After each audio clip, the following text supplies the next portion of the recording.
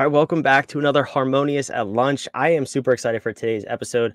We got a guest who has a unique story, a really interesting story, and a, a, cool path that's very much in alignment with what we teach and talk about here at Whadif with the Harmonious architecture. We're talking about business systems and a unique approach to it, but also really the, the path of today's story is the payoff of focusing on and having, developing, building a business system. So on this podcast, we're here to disrupt the way you think about your business, help you scale and grow. And I do want to mention real quick if you're interested in figuring out where your business is stuck, why it's stuck, and get yourself to that next level, I'll put this on the screen. You can always go take our BAD assessment, the business architecture diagnostic, figure out which of these 10 areas that you need the most help in. And I think you're going to hear a lot of different things today that tie back into the bad and definitely into the harmonious architecture. So uh, let's dive in. Let's welcome our guest, Mikey. Mikey, welcome to the show. Thanks for being here. Thanks, Brandon. Appreciate it. Yeah, so let's go back to the beginning. We were talking before we started recording, and you have a fascinating story that I said was unfortunately unique, and that is one of success in small business. So take me back to the beginning when you were starting your your first business. What did what did life look like? What was that business at the time? Well, uh, my first business uh, wasn't really on the legal side, so I'm not going to go that back that. okay, that, the second not, business then. I'm not going to go back that far. But uh, so I started out as a rapper. Funny enough, that's where I got most of my business skills from because I wanted to push my music. Uh, that's where the Mikey Bars name came from, and it just kind of stuck. Um, you could actually go on YouTube and see my old music. I don't know if I'd recommend it, but uh, it's it's still there. It's still up there, floating around. And uh, I realized that nobody wanted to, to hear my music. Nobody wanted to buy my music. I was probably going to be broke forever if this was the path that I followed. So I went and I got a order of t-shirts because we wanted to sell t-shirts. I ordered 100 t-shirts. They were like $10 a piece, cost me 800 bucks. I watched the guy print them. He had a heat press and a plotter. Took him 15 minutes and he was uh, printing out a shirt. So I was curious. I looked up how much this stuff cost, and I found out that I could actually purchase all of the equipment for less than my the cost of my initial uh, run of t-shirts. So I went up to Toronto. Um, I'm in Canada, Ontario, Canada here, and I went up to Toronto and I bought a heat press and a plotter, and I started making our own branded shirts. Um, again, failure. Nobody wanted our shirts because we're in like this small little hick town, and we're like rappers, and people are like, oh yeah, whatever, local rappers. Um, but funny enough, people did want custom shirts. So people would come to me and be like, oh, you can make custom shirts. So I'd make shirts for Stag and Does and whatever else people wanted. I actually almost got sued by Monster and my Facebook almost got taken down because I printed out a Monster shirt. So if you're printing custom shirts, make sure you have licenses if you're doing stuff like that. little little tip. Um, but yeah, and then one of my buddies actually approached me one day and said that he had a liquidation store and he was looking to rent out the corner of it. And he said he wanted two hundred dollars a month and five percent of sales. Um, I was a security guard at the time. I was going to school for police foundations, and I actually dropped out of school and I quit my job, which I don't recommend, um, but I did. And I went and I started up this little clothing shop called Ill Apparel in the corner of his liquidation store. Uh, me and my buddy, and you know, I sometimes some months I made money, some months I didn't. Uh, the my buddy there would come into the store throwing toaster ovens through the ceiling and doing all kinds of crazy shit. So I was like, you know what? I, I got to get out of here and I got to go get my own location and I got to try to find a different product to sell. At the time, it was 2015 and vaping was just getting started um, at the time. So I noticed there was only one vape shop in town. So I made an order for uh, for some vapes. I actually had to smuggle some nicotine across the border um, because I actually couldn't get nicotine in, in Canada. So it's uh, this is a rated R story. This is the rated R version. um, eh, but yeah, so we, I ended up starting. I transitioned from Ill Apparel to Ill HQ Vapor and Apparel because I still wanted to keep doing the apparel, but I wanted to try this vape stuff. And uh, I went and got my own location, started selling the vape stuff. And in my first year of business, I did about forty-seven thousand dollars in sales. Half of that went back into uh, cost of product and everything. And I was working seven days a week at this point. Um, I I tried on uh, this little small like uh, a small street in town, and the highest that we ever got to was maybe six thousand dollars a month, and we had no parking, no visibility, no nothing. And I was just like, you know what, this isn't why I started a business. I got to do something different here. So I started looking for a different location. I found one on the main street in our town, and uh, I, I contacted the landlord, and he told me that the rent there was like three times what we were paying at this place. We were paying six hundred bucks a month the rent over here was like 2,500 bucks a month. Um, and so I asked him, hey, you know what? I'm a brand new entrepreneur. I just want to get started here. Could I actually um, get three months free, and then I'll pay you your your first and last month's rent in three months? And sure enough, he said he said no problem. Thankfully, because I only had eight thousand dollars in my bank account, so I only had enough money to pay first and last. And then if we didn't make enough money as I thought we were in that first month, I was out of business. So it was literally a make it or break it move. And I was working at uh, in this business for two years at this point. So I had to make this work, and it was the scariest decision of my life. But hey, entrepreneurism, it's all about risk, right? So um, I went and I, I, went to that location, and like I said, at the previous location, our highest month was around six thousand dollars.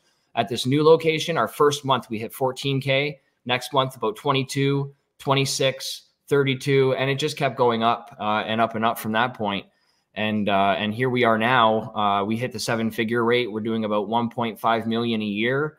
Uh, last year, we did an acquisition, so we acquired one of our competitors, and uh, we plan on having 10 locations in the next uh, 10 years or so. And we have a, a, full staff. I've got five five staff members. Both locations are fully staffed and uh, operating while we while we speak.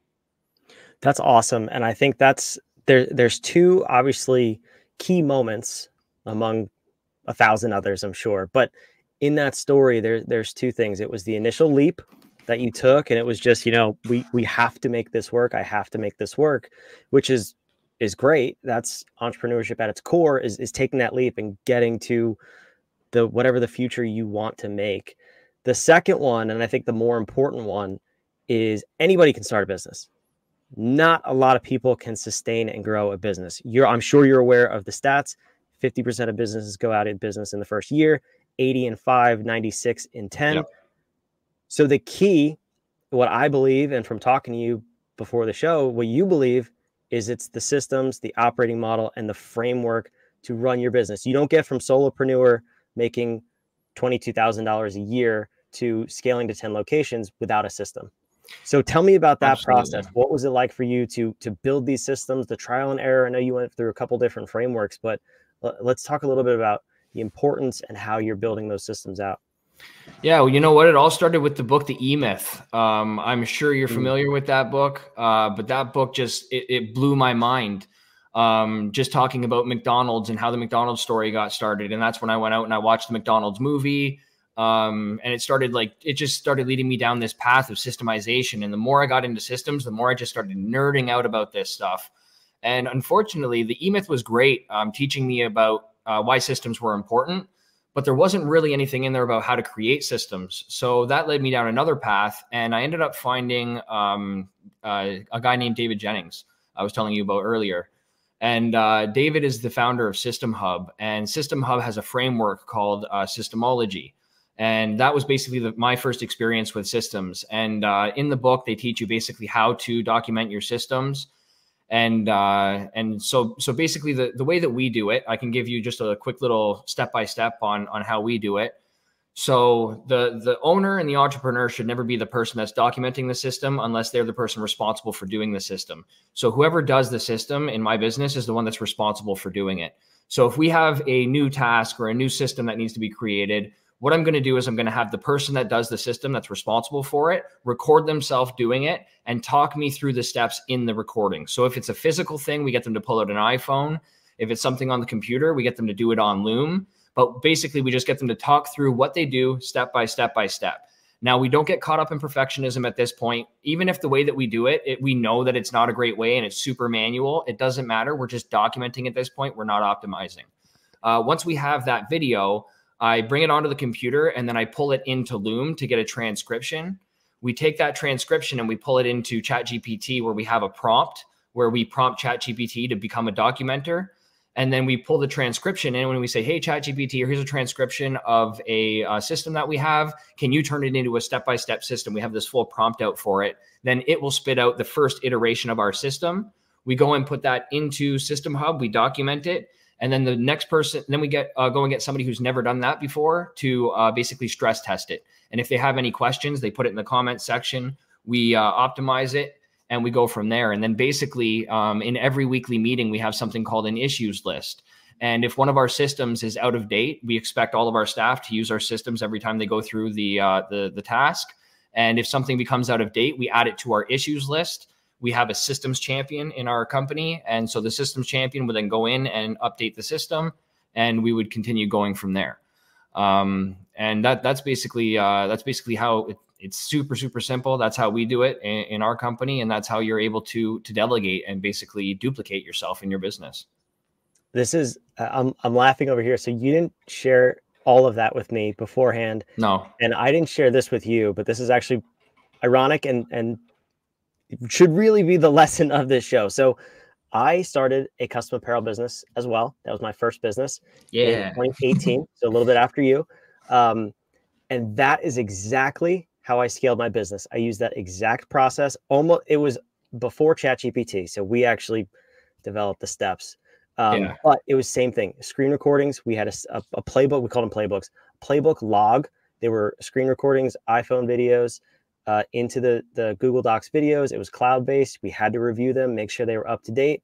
Um, and I was able to sell that business just earlier this past year because of the systems. Most people are not buying businesses in that industry. You know that, I think. Absolutely. And I was able to sell it quickly at a higher multiple than I probably should have received because it was all documented and I was out of it. And yeah, that's that is so cool that that you did the same thing regardless of the system or the, the operating system that you're using. Like please note that down. If you don't have documentation if you don't have systems if you're not operating within a structure your business is chaos your life is chaos and you'll never get out of it. Absolutely so, and i i think there always has to be an exit strategy you know? I, I, I teach this stuff and i coach friends. Like i i don't really have like anything structured or anything uh, out there but if my friends come to me and they want coaching I'll give them coaching. And a lot of people, strangely enough, I don't know if they just don't believe in themselves or if it's just uh, my goals are different than theirs. But when I tell people that they have to make sure that their business is sellable, um, they lose their mind. They're like, "Well, what if I don't ever want to sell my business?" I'm like, "That's okay." the The point is, is that you need to have options in your business, whether you sell it or not. You need to be able to sell it or have an exit strategy at some point, or else all that work that you put in was worthless, and you might as well go get a job because if you're building an asset, you might as well build it to be sellable. That's the point of having a business. The point of having a business is to create an asset. Just because it's sellable, like I was saying, doesn't mean you have to sell it. You can own it passively. Um, you could you could uh, take a vacation if you want to at some point. But if you can't walk away from your business for like three months and not only have it still operating when you come back, but still have it growing, you still have work to do, in my opinion. And I think it's a, a very very important thing to focus on. Yeah, and and this is something that I think a lot of people don't get because they they buy themselves or they start themselves a job. Yep. And what like what's the point? It's a job that probably pays less, gives you less vacation days, more headaches.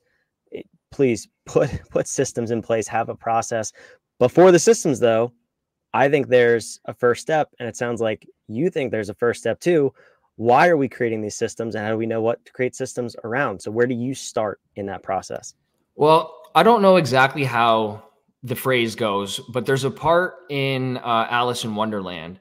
And a lot of people come to me and they ask me, like, well, what's my next step? Well, how do I do this? Well, how do I go there? And I always come back at them with with the Alice in Wonderland scenario where she's in the forest and uh, she meets up with the, the Cheshire cat and she says, well, where's my next step or where's my ne- next direction or where do I need to go? And then he asks her, well, where are you going? Where like where do you want to go? And she says, Well, I don't much care where I go. Then he says, Well, it doesn't matter then where where you end up. Right. And and I feel like that's so powerful because if if you don't know where you're going, if you don't have a vision and an idea of where you're going, then where you are now is good enough. Like you've already made it. Right. If you don't have an idea of where you want to be, then you're already there.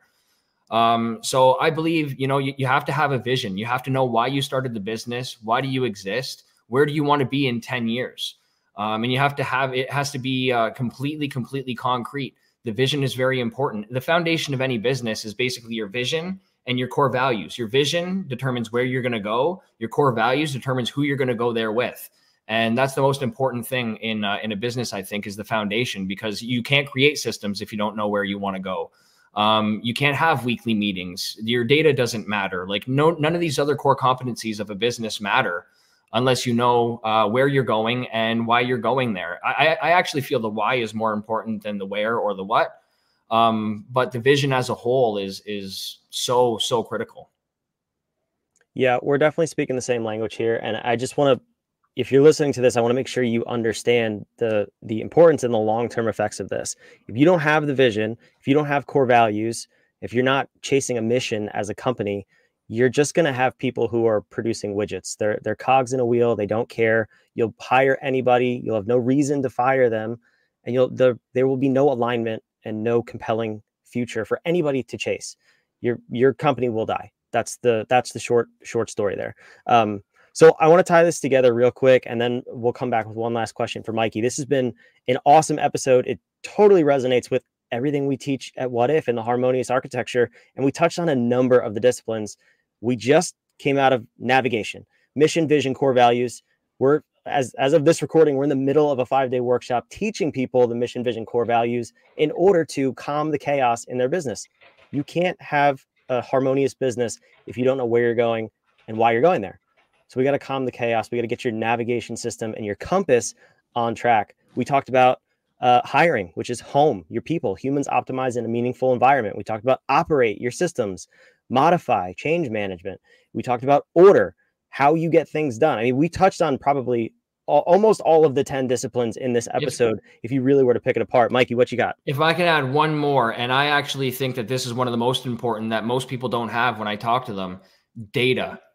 Mm. Data, man, having a good scorecard in your company and, and being able to have a pulse in your company. A lot of people measure their profit and loss. Um, you, you can't operate without it. And, and that's great if you have a profit and loss but you need to be able to have predicting indicators as well that you can use to affect the profit and loss. Because if you're just measuring based on the profit and loss, it's too late by the time the profit and loss is available. Um, mm-hmm. So having both lagging and leading indicators in your business, I think, is critical. And a lot of business owners that come to me tend not to have that. And uh, you you can't yeah. predict, you can't make your business predictable and scalable without having good data.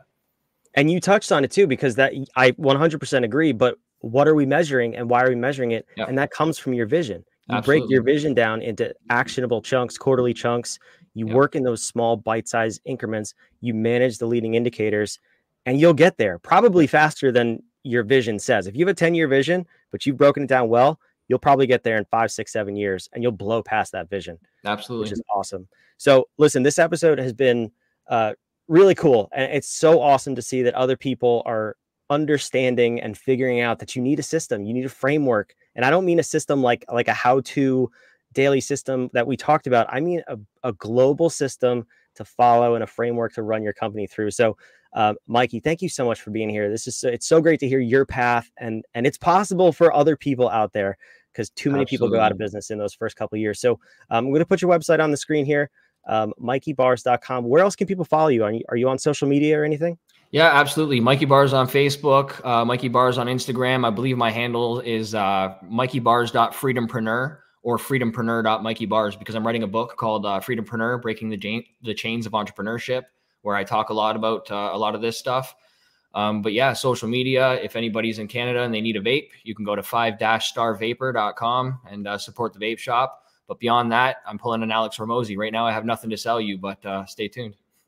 That's so awesome. I love that. And uh, one last thing, because I know we know we talked about this, and this is it's so cool that this is the the path that you're taking in your life. Um, tell me what's next for you when you do get this website ready to go and everything. Where are you taking people? Because it's so important. I want you to highlight that real quick. Yeah. So uh, basically, we all know that school failed entrepreneurs. I'm not going to say it failed everybody because we still need doctors, we still need lawyers, professionals are still very important. But if you want to be an entrepreneur, school isn't for you and there needs to be a place for people like us to learn. Uh, so my passion project is Freedom Labs. Uh, it stands for Life and Business Strategy or Life and Business Systems, but it's basically all the same. And uh, basically, I'm going to be teaching anything that has to do with freedom. So I'm going to be teaching people how to formulate something like this. I have something called my life book. I took a life book course, and it basically teaches you how to break your life down into life areas and figure out your vision and your core values and everything in your life. Um, so I'm, I'm going to be doing something, uh, some courses around there. I'm going to be doing some personal finance courses that show people how to come up with their financial independence number and how to achieve it. And I'm going to be doing some business courses on uh, business systems and scaling and uh, strategy and, and whatnot. So basically, anything that you need to figure out what freedom means to you and to achieve that life, um, I'm going to try to have uh, some courses and support systems and communities based around that. That's so awesome. We'll link to everything possible, everything and Mikey just said in the show notes here if you're uh, if you're watching the recording. But uh, thanks again for coming. This is a great episode and something I think people really need to hear. Um, so thank you for joining me, and for you watching, we'll see you on the next episode of Harmonious at Lunch. But take this away, please. You need a global system for your business, you need an operating framework or you will never get out of the chaos and the firefighting. If you want to get to that next level in your business, you want to grow, follow Mikey, follow people like myself. We'll teach you that system and the framework. We want to get you to the dream business that you always wanted to have and the freedom that you started this business for. So, thanks again. We'll see you on the next episode. Absolutely. Thanks for having me. Trust us, man.